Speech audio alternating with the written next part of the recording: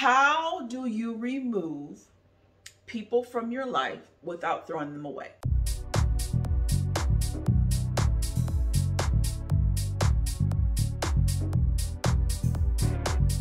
Welcome to another episode of Becoming with Angelina Watkins. I'm your host, Angelina, your queen of becoming, and I am here to help you achieve emotional, spiritual, and financial prosperity. I started this podcast so I can help my sophisticated professionals and my first time entrepreneurs become who they need to be so they can be able to do what they need to do so they can win at love, life, and money.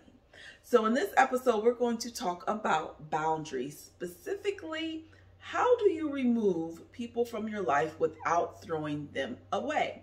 But before we get into that, I want to make sure that we do some housekeeping, okay? Hit that subscribe button and the notification bell so you don't miss another episode. We are here every Thursday, dropping that knowledge of what you need to know so you can become who you need to be, so you can create that life that you want to live. All right. And if this your first time joining us, I do thank you for joining us. Welcome in welcome to the show. So let's go ahead and get right into this, okay? How do you remove people from your life without throwing them away? That's a question that came to me from several people in one week. So I said, let me go ahead and make a podcast episode about it because if they're asking, then surely some of you out there are probably wanting to know the same thing because we have um, people in our lives that we might um, label as toxic uh, we might label them as emotionally unhealthy. Um, they're just difficult people, hard to get along with, and they're causing us some mental and emotional anguish. Okay. They're causing distractions in our life. They're causing us and they're slowing us down from being able to get where we want to be and do the things that we need to do and accomplish what we want to accomplish in life. And so there's this thing about throwing people away or cutting them off. Okay, we'll talk about that in a little bit, cutting people off.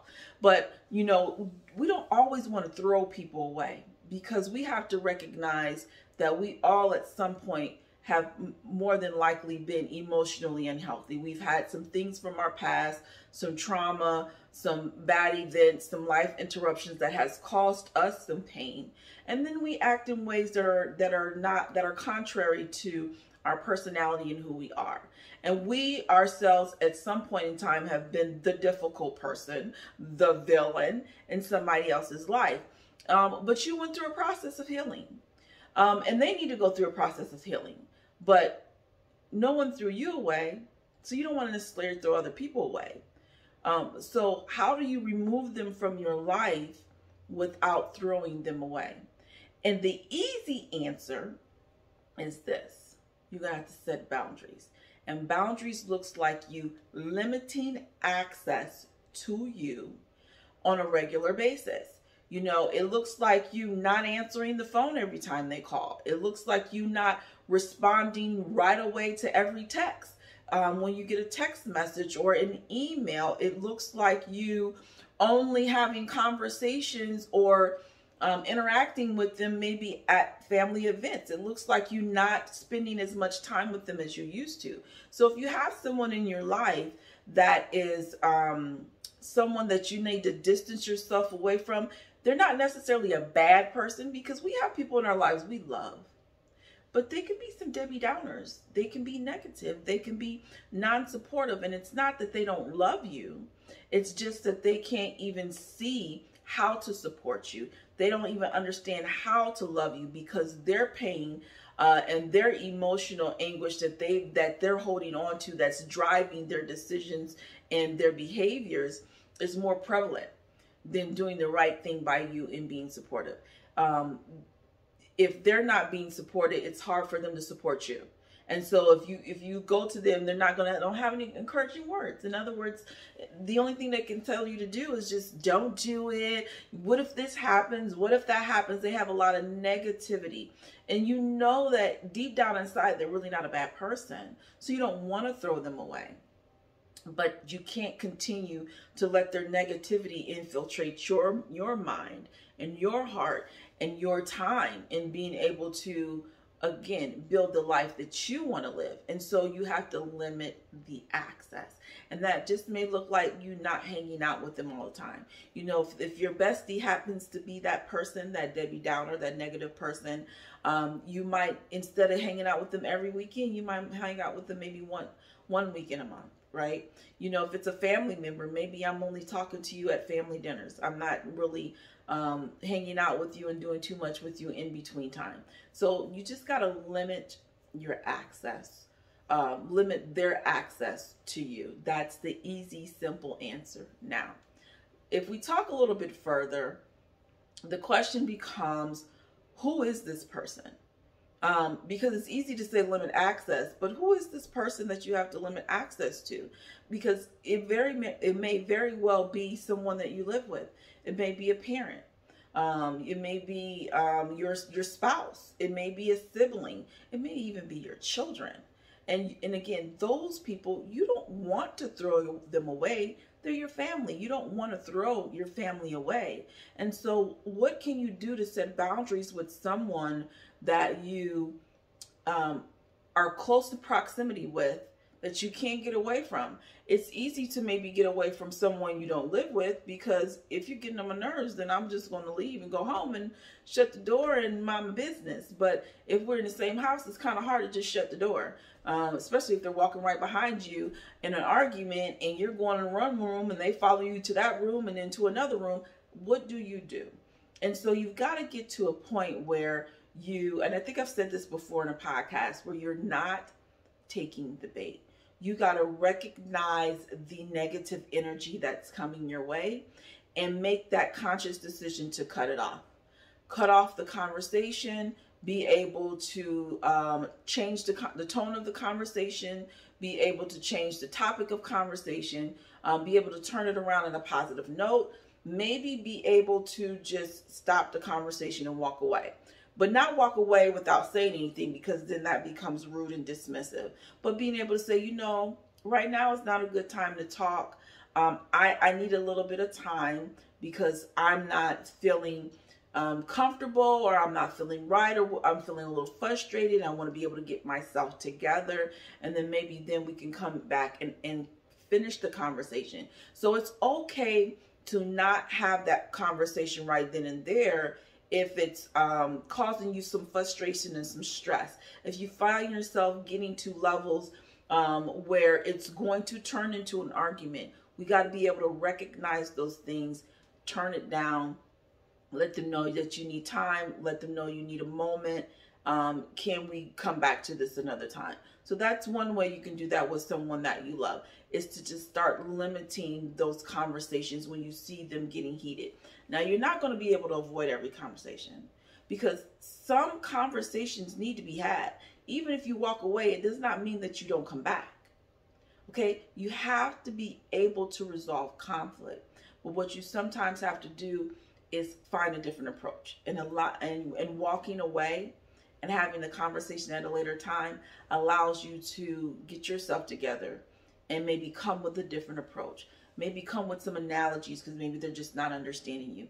And you can think of some other analogies that maybe maybe will help them get a different perspective of what you're trying to get them to see. Okay? So we don't want to always throw people away because the only way that people can heal is for us to love on them, for us to be patient with them, for us to show them grace and mercy just like someone showed me grace and mercy in my healing, I have to be able to extend that same grace and mercy to the next person.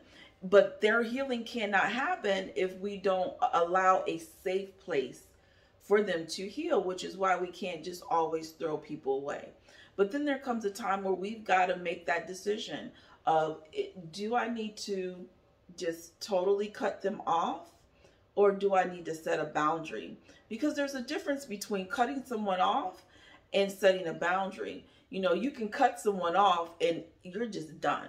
Believe me, I was the queen of cutting people off because I'm done. I ain't got nothing else to say. It ain't no working this out. There's nothing else to do. Like, it's over. I don't ever have to speak to you again.